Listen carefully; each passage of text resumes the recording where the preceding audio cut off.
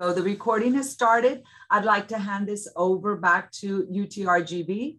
And if you'd like to just state your name and it, the floor is yours. Go ahead. Thank, thank you, Ms. Ramirez. Um, my name is Dr. Denise Longoria, and I am the Director of Online Programs and Distance Learning in the School of Social Work at the University of Texas, Rio Grande Valley. Um, we are very happy to be here with you today and um, and have the opportunity to to talk to you a little bit about this topic. Um, joining me today is Professor Vanessa Ibarra, and I'll let her introduce herself. But you're muted, Vanessa. Yes. Okay. Hi, I'm Vanessa Ibarra. Uh, like Dr. Longoria mentioned, I am a professor here at UTRGV at the Laredo campus. So for those of you who don't know, we're in Laredo now. Um, and this is uh, our first, first year that we have a couple extra professors aside from Dr. Longoria. She's been doing this a while in Laredo, uh, but we're expanding. Um, and thank you for having us to present on this very important topic. Uh, so I don't know if I can be granted permission to share. Are you able to share, Vanessa? Let me see. Okay, there. Perfect. All right, let me see. Yep, you got it. All right. Okay. So today we're going to be talking about traumatic events and post-traumatic stress disorder and and just to give you a little bit of an overview of what we will be talking about, we're going to be, first of all, be explaining what a traumatic event is. And we will be talking about some of the reactions that people will have to trauma because it can vary from person to person. What some of the red flags to look for are, and how people might experience some of those symptoms. Um, we'll talk a little bit about why people react the way that they do uh, when faced with a traumatic experience as well as the effects of trauma on school performance. Um, because you know, when children experience it, it may look a little bit different than it than it might look for for an adult. And then last but certainly not least, we'll be talking about when and where you can look for help. So the first thing that we want to talk about is just thinking about some of the assumptions that we make, you know, as individuals most of us make assumptions about life. We go about our daily lives making assumptions that we are generally going to be safe, that things are going to be a certain way, and that it's predictable. You know, like this morning, probably most of us left our houses. If, if you've already left your house, I have. um, and if you haven't, you know, just think we we we start our day thinking about, okay, today I'm going to be doing this, this, this, and this. I need to go here, I need to go there, and these are the things I'm going to do. Um, these are the people I will see, etc. We're already we already have a plan in our minds. We might even have a plan for the weekend, for a week from now, for a month from now, you know, because we kind of expect that things are just going to be falling into place and that we're going to be able to to do all the things that that we are planning to do we um, we don't expect that there's going to be anything out of the ordinary that's going to happen to mess with that event that we're that we're planning for or the the the schedule that we're planning to follow. We typically go about our day just expecting that things will be okay um, for the most part, I think we all have a belief that you know everyone is good and nobody intends to do anything bad or malicious. That no no one has any malicious intent toward toward us. When there are times of crises, um, for example, when you know the the COVID nineteen pandemic started, you know we we all have generally will have a belief that people who are in charge are going to tell us what's in our best interest, you know, to do. They're going to guide us. They're going to give us, uh, um, they're going to give us advice about, you know, how do we handle this particular situation. So, and and and all of these are generally going to be dependent on our uh, our just our own experiences, of course, our, our own values, and just our beliefs about life. But when a traumatic experience happens, pretty much all of these assumptions that we carry with us on a daily basis are shattered. So, what is a traumatic event? a traumatic event is going to be something that is very intense. It's going to be something that is overwhelming.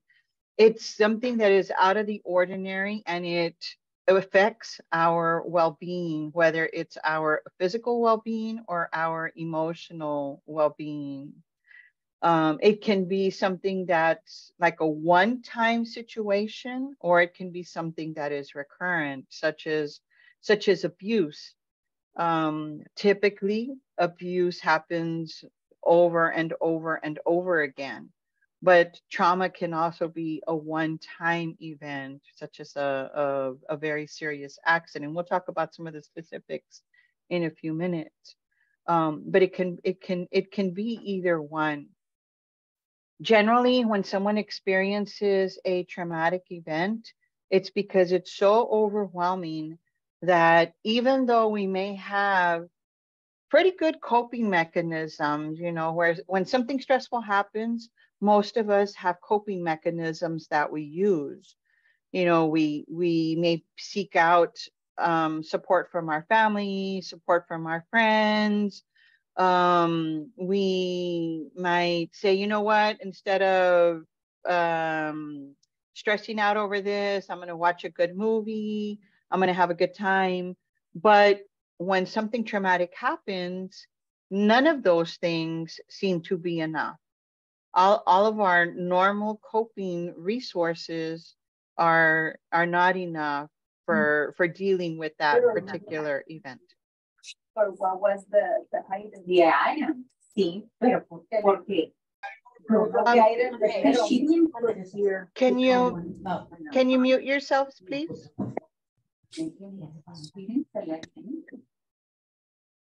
Thank you. Can everybody mute themselves, please?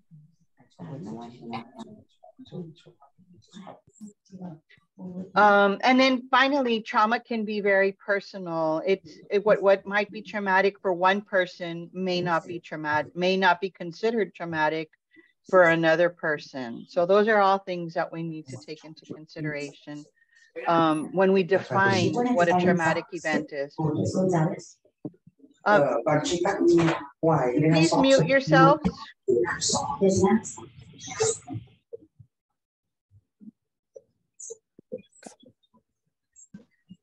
Okay. So what are some traumatic life experiences? Um, it could be, can, can you mute yourselves, please? Exacto. Yes, I'm yes. not sure who But like I said, I mean, I don't want to put more pressure I- on Or we can, oh, there we go. Okay. Sorry, Dr. Longoria, I'm trying to, to. Okay, that's okay. Go ahead. Okay, thank you. Thank you.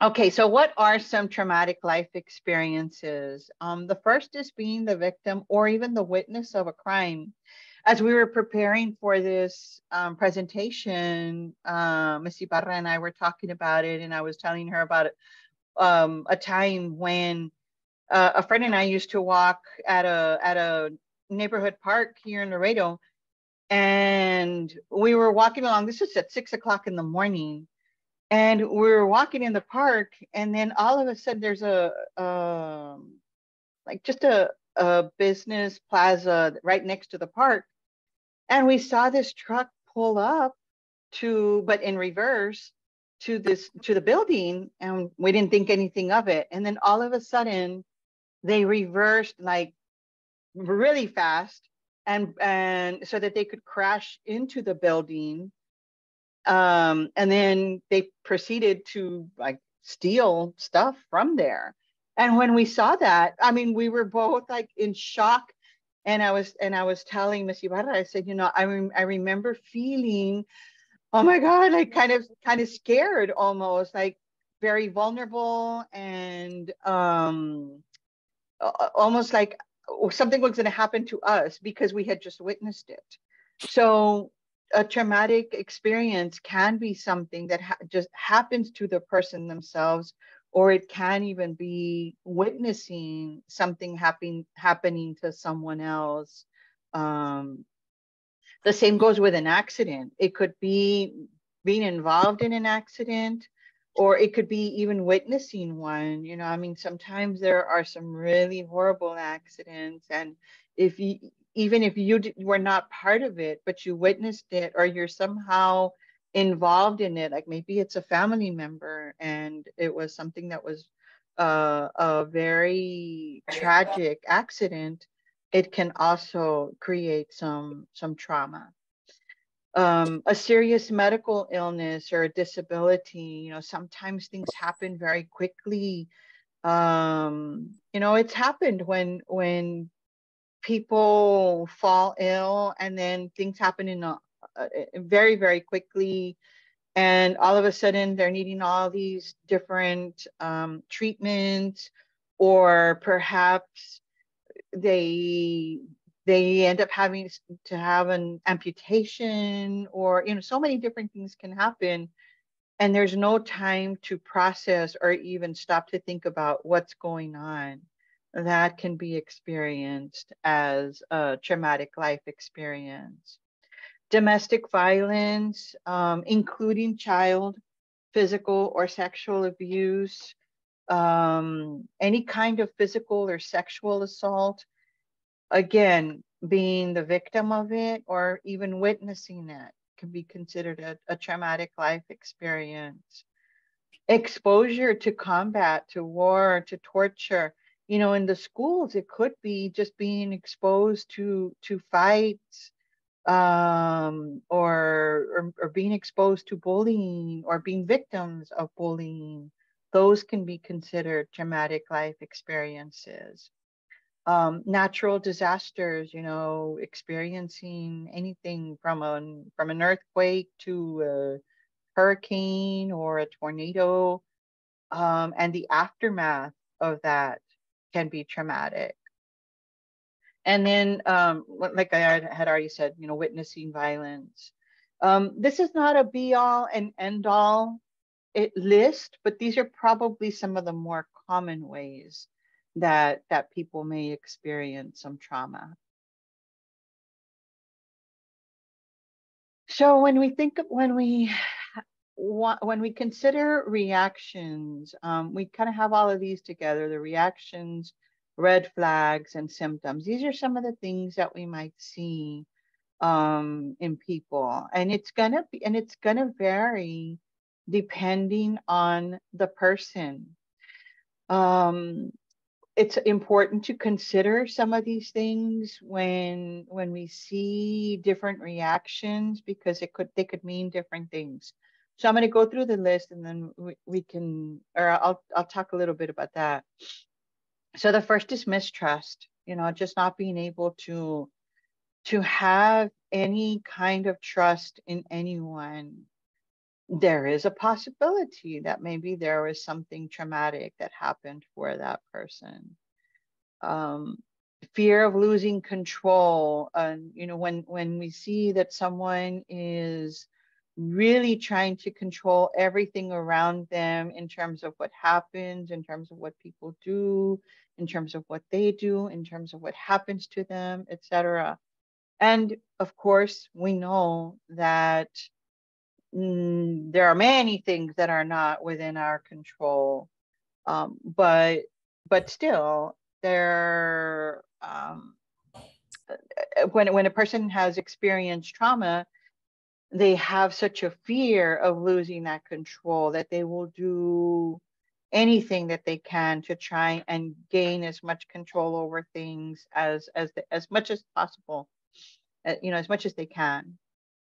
Sometimes we will see rage reactions. Um, these can be internal or external.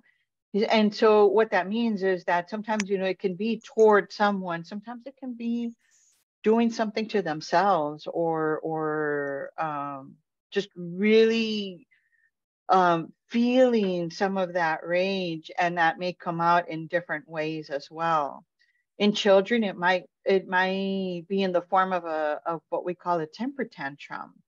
You know sometimes we think kids are are más chiflados you know they're just spoiled.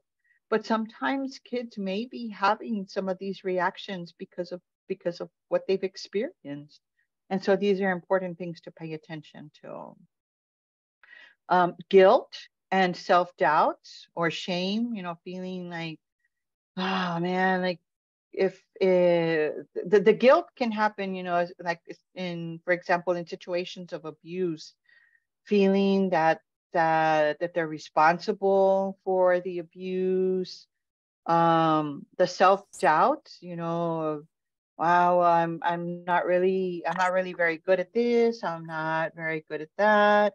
I don't know um, if I'll be able to do X, Y, or Z. Uh, sometimes feeling shame, you know, that, that they've somehow contributed or brought this on on themselves, like they deserved to be treated a certain way or they deserve for something to happen to them. Sometimes people will react in that way. Sometimes there is excessive worry and then um, again, going back to that fear, again, going back to that fear uh, uh, of losing control, there can also be some just excessive worry of, you know, what am I going to do about this, or what if this happens, or what if that happens, and and constantly thinking about um, a particular situation. A lot of the time, you know, maybe not wanting to leave. Sometimes people don't want to leave their their home because they're afraid you know something is going to happen. Sometimes they don't want to if someone's been in, in a car accident they may not want to drive anymore and just be constantly worried about uh, another accident happening. It can happen in many different the, the worry can happen in so many ways. There can be isolation and also avoidance you know where it's like instead of trying to get some support or or even talking about what's happened how the person is feeling etc we might just you know what i'm just not going to think about it. I i just and and so then sometimes the person will even end up isolating themselves. They don't want to talk to anyone they don't want to see anyone they don't want to do anything. And before you know it they are just completely, completely isolated. Sometimes people will experience relationship problems when they've experienced um, trauma because they um, aren't sure how to how to handle it, how to ask for some help. And so they may end up taking it out on the other person or reacting to the other person because of what they've been through. Sometimes people will experience some changes in their sleeping or even in, in their eating habits. With the sleeping, it can be where they just want to sleep all the time, or maybe they can't fall asleep, or maybe they're constantly waking up. Um, you know, just sleep in little spurts. I've had um, clients who can't sleep in a certain area, for example, in their room, if something happened in their particular room, they may not be able to sleep there. They have to go sleep in another room, in the living room or somebody else's room in their home, but not in theirs. So the sleep disturbances can vary. With the eating habits, some of the changes may be where the person is either um, not eating or eating very little, or perhaps they're they're really indulging and and eating much more than usual. And so we might see that there's a, some weight loss or perhaps a, some weight gain and it happens very quickly. Other um, red flags is when there are repetitive and intrusive thoughts, you know, where the person is going about their day and then all of a sudden they're thinking about, okay, this uh, um, traumatic event over and over, or what might happen, or what could happen, worrying, again, going back to the worry, and it's just like there and it's just constant. Focusing on the past, you know, just thinking about, okay, about what happened about that particular or uh, event or events, if there were, sometimes there are more than one. Um, and just focusing on that and not being able to move forward and recognizing, okay, I'm not there anymore. I'm not in that same danger. But sometimes the person will like continue to to perseverate on that. Sometimes people will experience memory loss um, as a way of coping. People will just completely put it out of their minds and just block the event completely and so they experience um, perhaps the event and, and then things that perhaps that are associated with it as well. And so there's almost like little gaps in their memory. Sometimes people will experience crying spells um, just randomly. You know, I don't know what made me cry. I just started crying. And, and a lot of the time it may be related to to the, the trauma that they've experienced.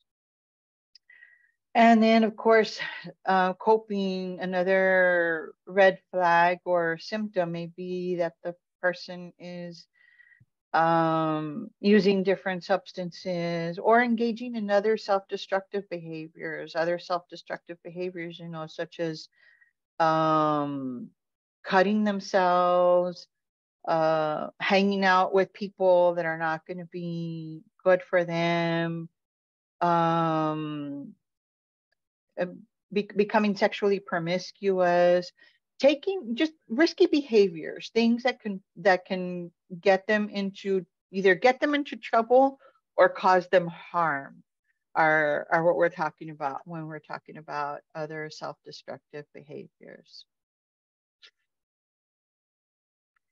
So, what are the reactions going to be influenced by? A lot of it is going to be influenced by these different things that you see on here. What we mean by, you know, we, we all of us grow up with different beliefs, different traditions, different values, etc. And so we may experience things differently for example, if someone grew up in a home where um, yelling and name calling and um, spankings or even beatings are the norm, and they may not recognize that that is not okay that it's that that's abuse. And then whereas for someone who did not grow up in a in a in a home like that that happens the first time their reaction may be stronger. It may be like a, a, a much more intense reaction to the same treatment because of the the uh, values that that that they were raised with depending on on the dynamics. Um, depending on the resources that we have available to us that can make a big difference you know if we have a, a strong support system and we have someone to turn to to talk to to ask for help from and it's not just emails and ads you need to think about scammers can grab information off of social networks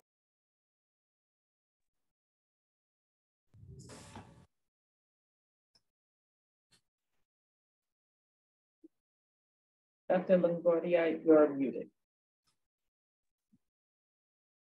Okay, there we go. Um, I think I think I, I think I got muted. Um, so so depending on the resources that we have and how quickly we can uh, how quickly we can engage coping mechanisms, how quickly we can engage some of those resources, the reactions may be uh, either more or less intense. And now I will go ahead and hand it over to Ms. Ibarra.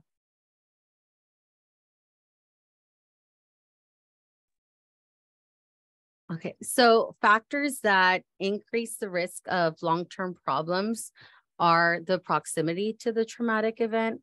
So uh, how close were you to the situation? A lot of times, uh, I know Dr. Longoria mentioned situations of abuse. Uh, so it might be that it happened to you. It might be that it happened to your child. Uh, and going back to that fear that was experienced at that moment, that can be something that would affect um, whether it's something that just affects you at the moment because it might be something there's certain things that happen naturally some of the um, red flags that dr longoria went over those are some things that might happen right after the event uh, and that's normal actually for some individuals this will be something that happens for weeks or months or years and so those are the people that we're going to focus on a little bit more right now uh, when we talk about long-term problems. So for some of those people, that proximity, like it happened to their child. And so they might be um, maybe struggling a whole lot more with it than maybe um, if it happened to your neighbor. Uh, being injured or knowing someone who was killed or injured during the traumatic event can it increase those uh, long-term problems also? Um, minimal coping skills prior to the event. So going back to what Dr. Longoria was talking about right now in terms of, you know, we all have different beliefs, different values, different resources available to us. So we all grew up with um, maybe different ways that we handle stress.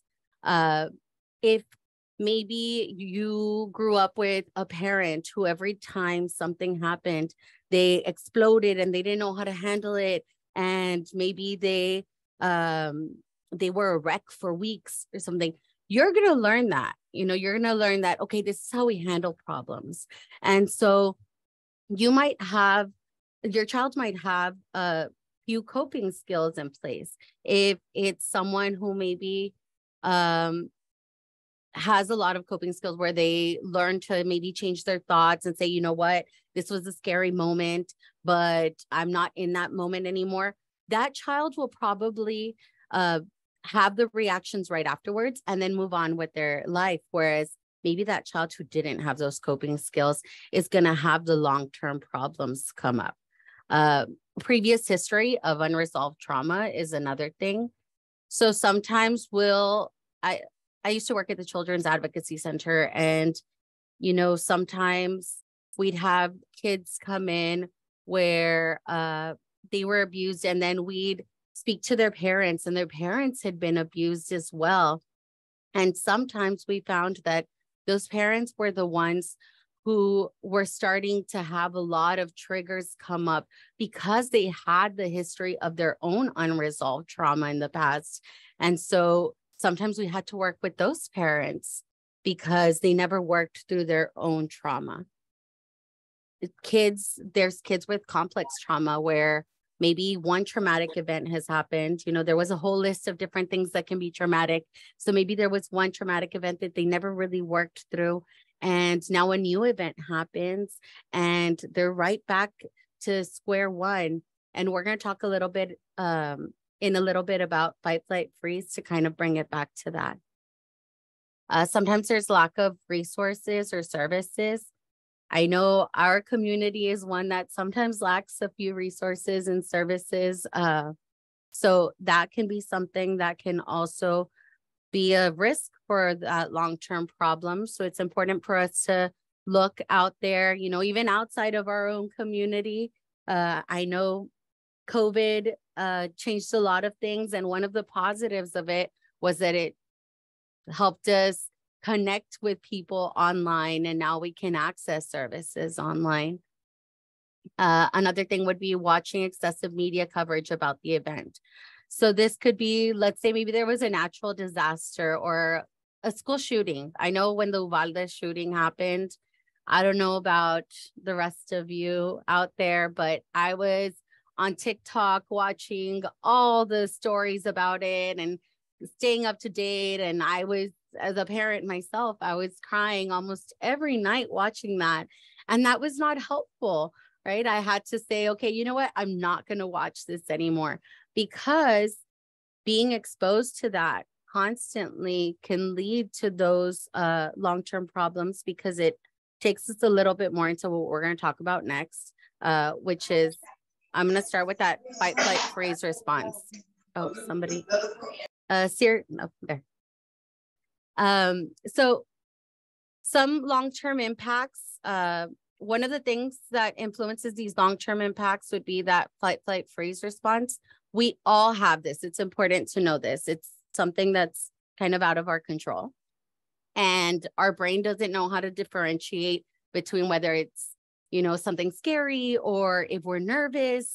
And so we all have this response that happens automatically. This is the way that our body and our brain says, all right, this is how we're going to protect you.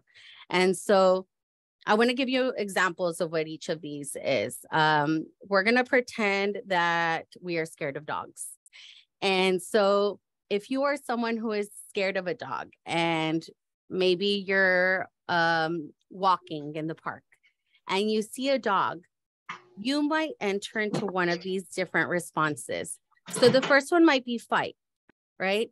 You might see that uh, dog approaching you and you might start kicking at it or yelling things at it like, hey, get away, get away from me. So you've entered that fight response. As you've entered that response, your um your heart might start beating a little bit quicker maybe your breathing has changed maybe your body has got intense uh same thing with flight. That's another reaction that you might have. You might see that dog and you might say oh i'm not walking that way right? I'm going to turn this way and i'm going to turn back. I'm getting away from the situation. So you're fleeing that situation. Another response might be that you might freeze up. And so you might actually stay frozen in that moment, right? Physically. And then there's another level to that, um, which I like to call collapse, which is where your mind kind of freezes up or collapses into where you're not thinking straight. Uh, this might look like dissociation, which is basically a fancy way of saying uh, maybe like day- daydreaming or out of body experiences where maybe when you're in freeze and you've entered this extra phase you might not remember the situation. You may you might forget you know um about when the dog passed by you. You might remember i saw it in front of me and i don't even know when it passed me because I, you were in that freeze response. And so these are normal reactions that we all have because our our brain is wired to expect danger. Uh, as this is happening, as we're in fight, flight, freeze mode, you know, I mentioned a little while ago, our body might have changed, right? We might have started with the heart pounding, our breathing might have changed, you know, our body might have got intense. Uh, we might have um, gotten nauseous or sick to our stomach. Uh, if we were really, really scared, we might have uh, urinated on ourselves. Uh, we might have started crying you know, uh, our face might have gotten red and flushed. So we have a lot of different experiences that can happen with our body. Uh, and this is because those stress hormones are flowing all throughout it. As that's happening, we um, have that sense of safety taken away from us, right? Sometimes we don't feel safe in that moment. And as a result, we end up feeling a little bit helpless. Now, let's say that at that moment when you saw that dog, you entered either fight, flight, or freeze, but you were bitten by that dog. Oh, somebody's okay. Uh, let's pretend you were bitten by that dog. your flight flight freeze response ends up changing in the future because now that threat has become real, right? Because we all know, like, as we're going through this, we all know all these traumatic events can happen, but we never actually expect for them to happen to us.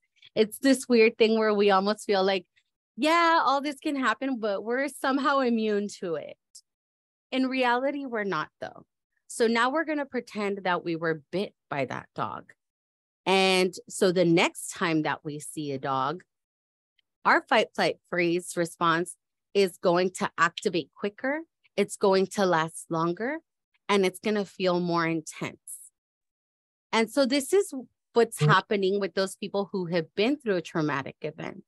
Their normal fight, flight, freeze response has now been intensified and now it's lasting longer.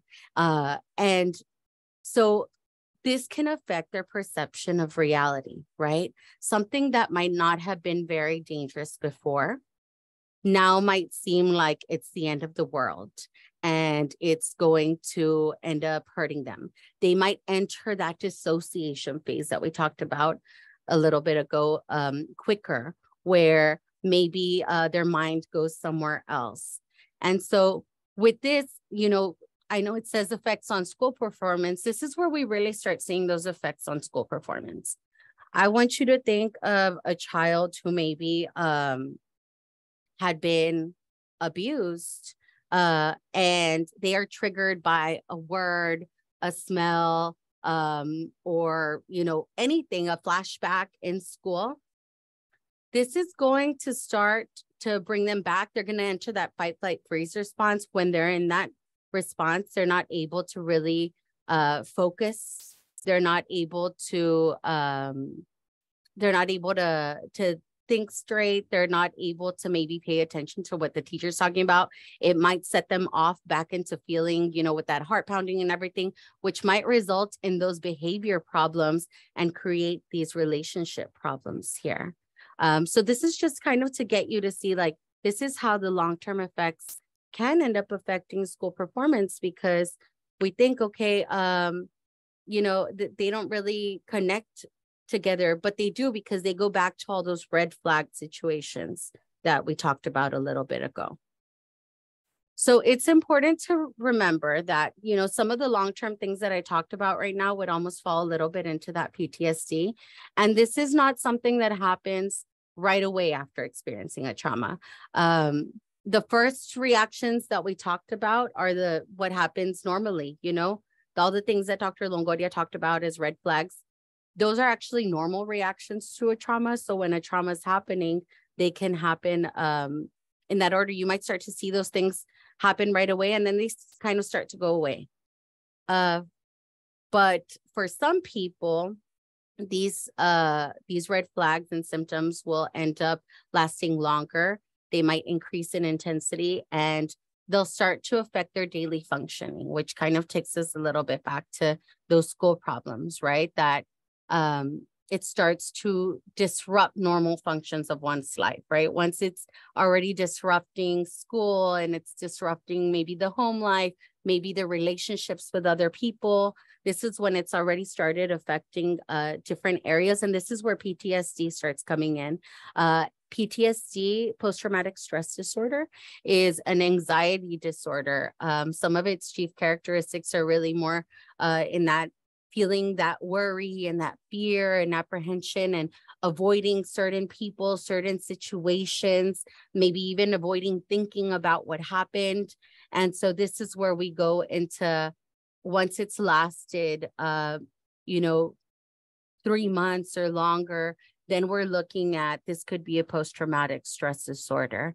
And so we want to talk about what are some things that we can do when we do hit that um, moment or even before, you know, um, if your child doesn't have good coping strategies and you already know that, it's never too early to start seeking treatment. You know, uh, you can seek counseling or therapy. You can uh, maybe go to your PCP or uh, to get a referral for uh, a counselor or therapist, end up getting a referral for a psychiatrist or psychologist. And if you do end up seeing a psychiatrist, they can be evaluated for medication. Um, combination treatment would be doing both at the same time, you know, uh, getting that medication to help with some of the symptoms that they're experiencing, and at the same time, getting them counseling where they're learning new tools and new coping strategies uh, to improve uh, some of their kind of get some more tools into their toolbox for future situations because if we go back to those triggers the triggers are not going to go away overnight you know? So you have to learn how to manage them. And uh, if you don't know how to manage them that's where that counseling and therapy comes in because they teach you ways of handling those situations and being to get yourself back to um, a phase of tolerance where you're okay with it and not maybe exploding on somebody, uh, maybe having that temper tantrum that we talked about earlier, um, or um, being unfocused where you're completely able, unable to bring yourself back to the moment. Another great thing out there are self-help and support groups. Uh, going back to the resources in the Laredo, we don't have a whole lot, but there's a lot of online uh, support groups that either you can get your child into and you can join in with them or as parents you can also join. A lot of times there's parent support groups that you can go into and find different ways to help your child um, because it's really important to know treatment works. I know sometimes uh, we don't want to seek out treatment because we think you know it's going to be okay uh, we're going to get past it um you know it it's something that's happening right now but you know they're going to learn to cope with it. And sometimes they don't. So it's good to seek out treatment. Uh so where can you seek help? Uh here uh locally you can go with your school teachers the counselors at school psychologists or social workers uh, that TCHATT program is actually this program that ends up uh, having monthly uh, sessions to talk about different topics. Uh, healthcare providers, so going to your child's pediatrician or your family physician to go ahead and get some assistance or referrals out there. Uh, community agencies. So for trauma specifically, locally, SCAN and the Children's Advocacy Center would probably be your best bet for children specifically because they both have uh, counselors who are trained in trauma focused cognitive behavioral therapy, which is specific to children. And it takes the child through phases gradually until they're able to talk about everything. So it's kind of exposing them gradually to what happened, but also at the same time teaching them new skills so that when they finally do talk about everything, they've already got those skills in their toolbox.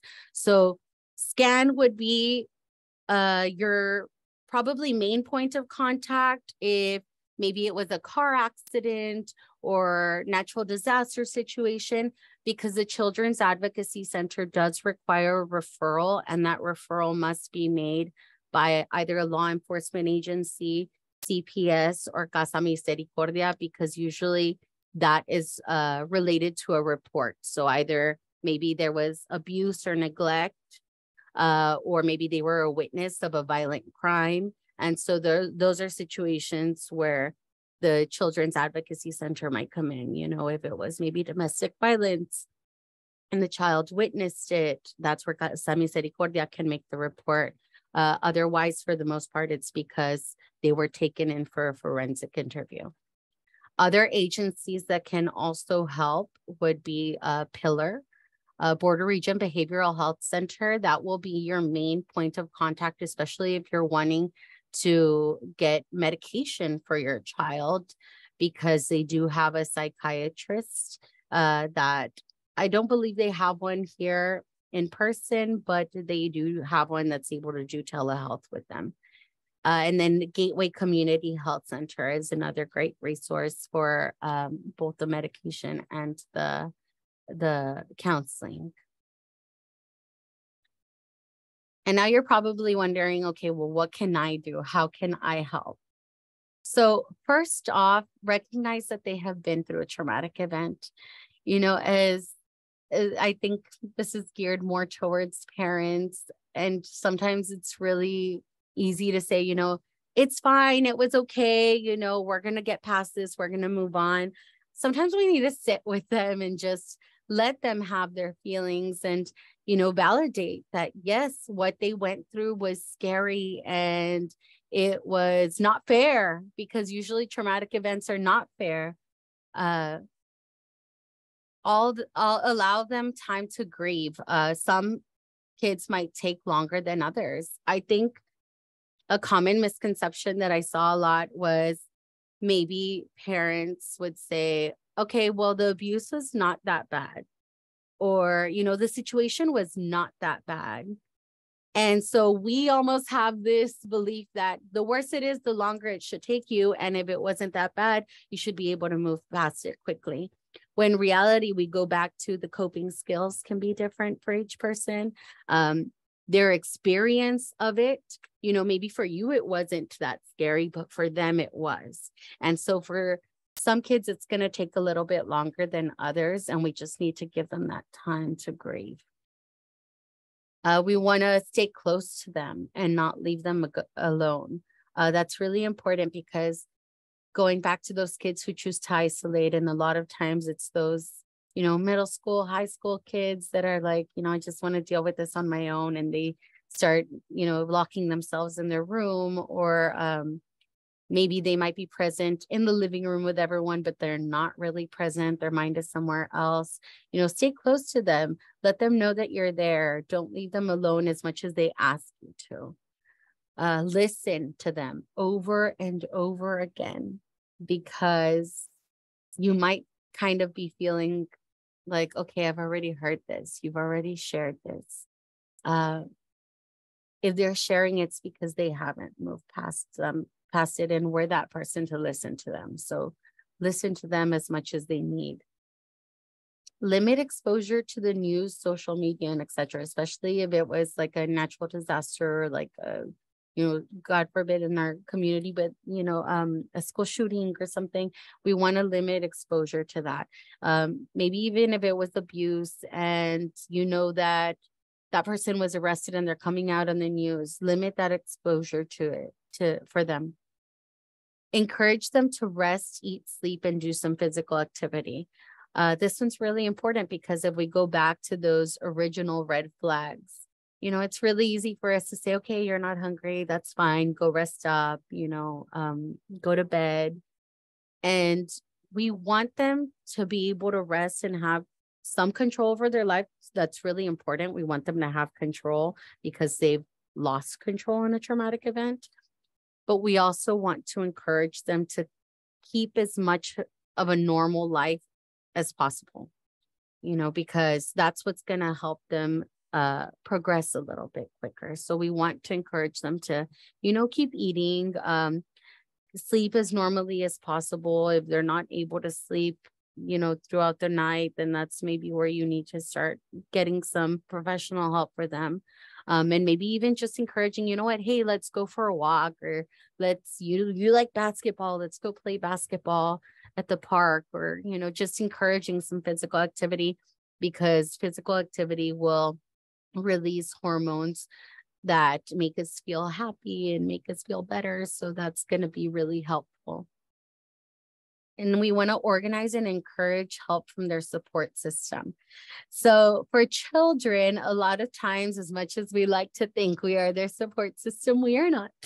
a lot of times, their support comes from their friends. And so, uh, maybe even inviting their friends over to come and watch a movie with them or just come and hang out can be really helpful because sometimes um, support is seen in different ways. It can just be by having someone make them laugh and make them feel uh, like they did before the traumatic event.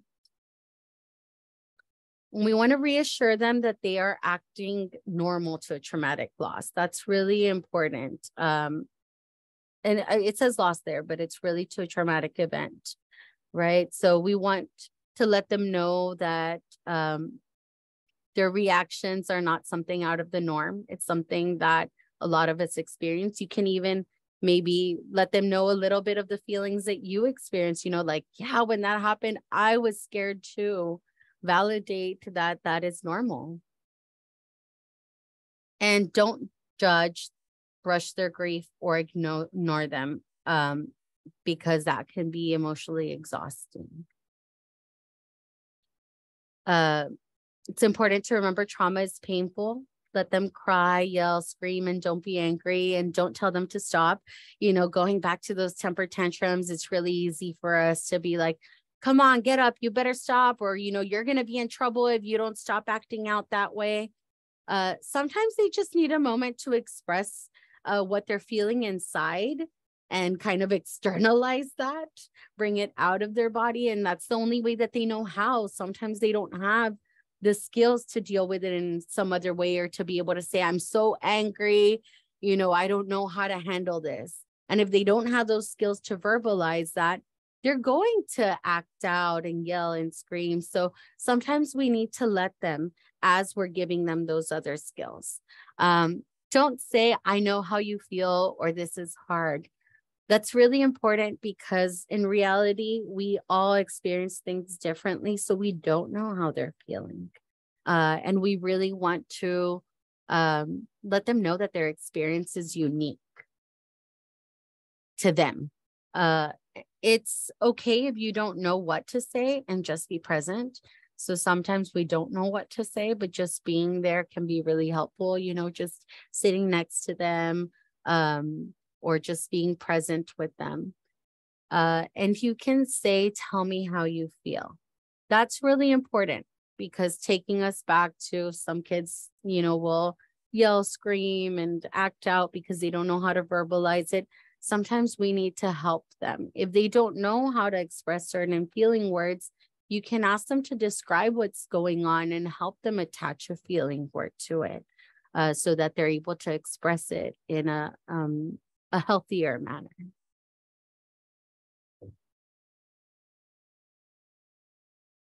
And that's basically it. I don't know if anybody has any questions for us.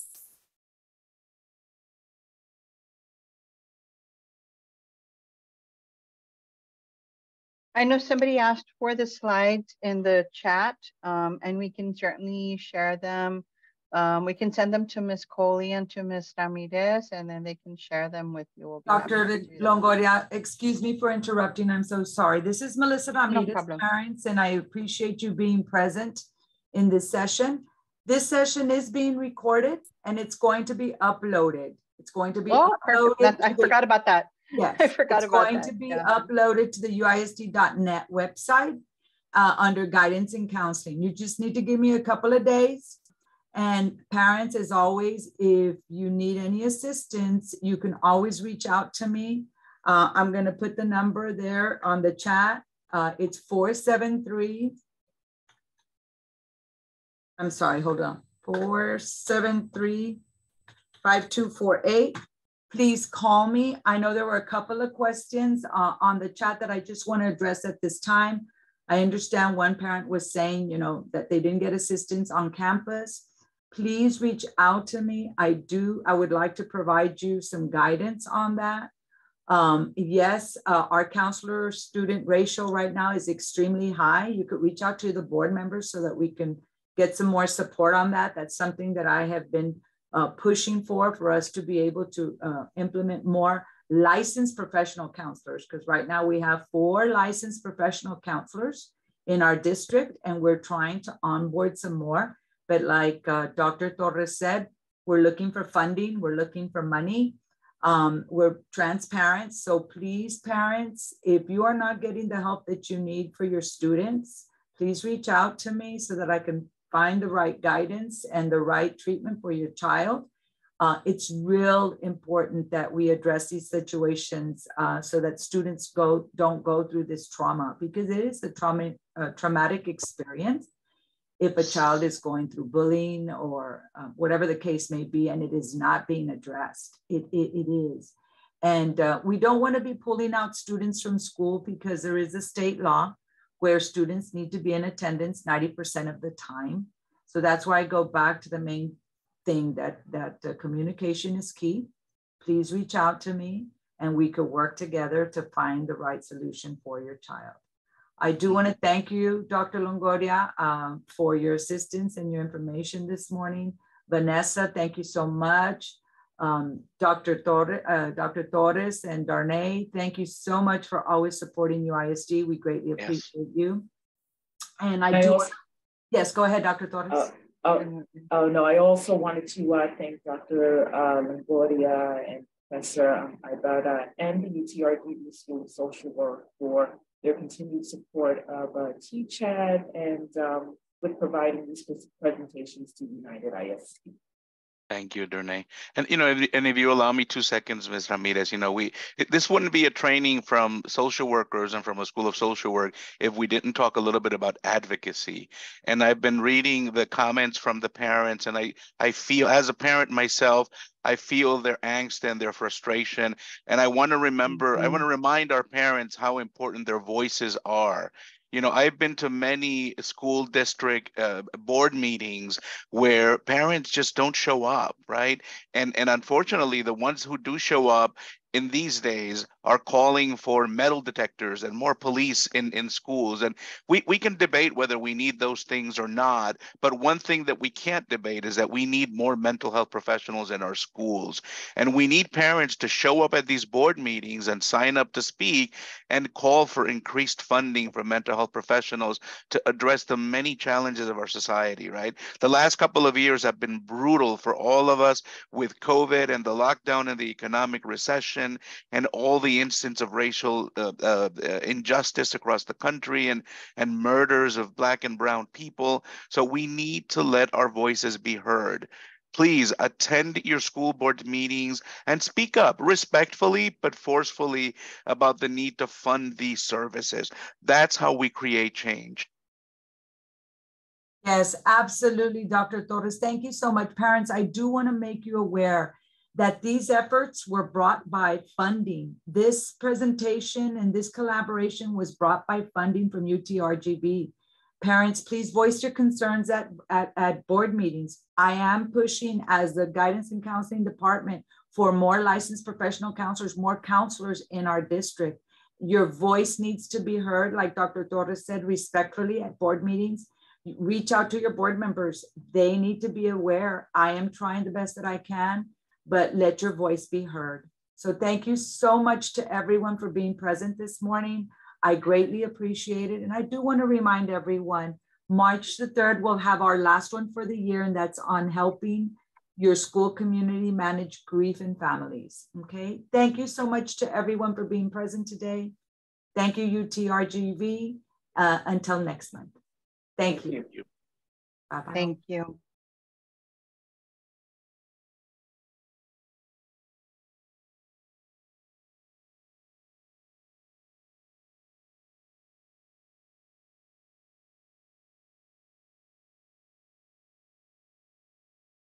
To stop the recording, but I can't find.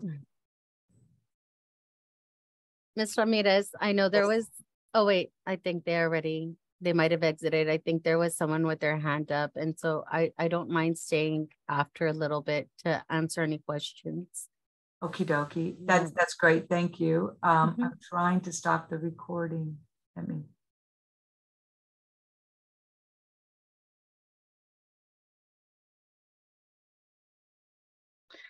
Yeah, I thought I had seen a hand too, but then I lost it maybe. Yes, I think they might have exited. They might have, ex they might have exited. Yeah.